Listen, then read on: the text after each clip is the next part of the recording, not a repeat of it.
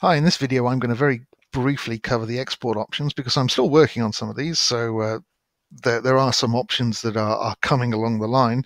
Um, what we have at the moment is if you look at the little rocket export button down at the bottom, uh, this gives you this page here, which has four options at the moment, well, five if you count the download project file, but four options that will get your text out in a readable manner. You can export it as an HTML document by simply clicking that button, or as a markdown object, uh, a markdown, markdown document, which uh, again is another web format very useful for writing out your writing your book out to say a blog posting. It might be useful if you use Markdown as part of your content management system. Uh, I'm currently working on the RTF version, which is going to be an export to doc version. You can, of course, export to HTML and import that, open that with Word uh, if you want to as well. That's another way of doing it.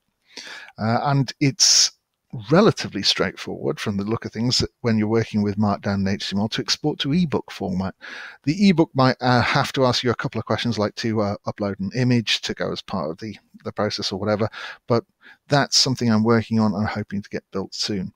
You can also download the individual project file. Uh, say you want to share one project with someone rather than your whole database using the database saving tool.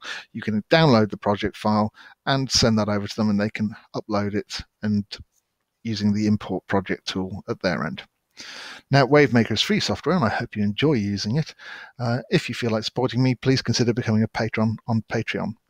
Thank you.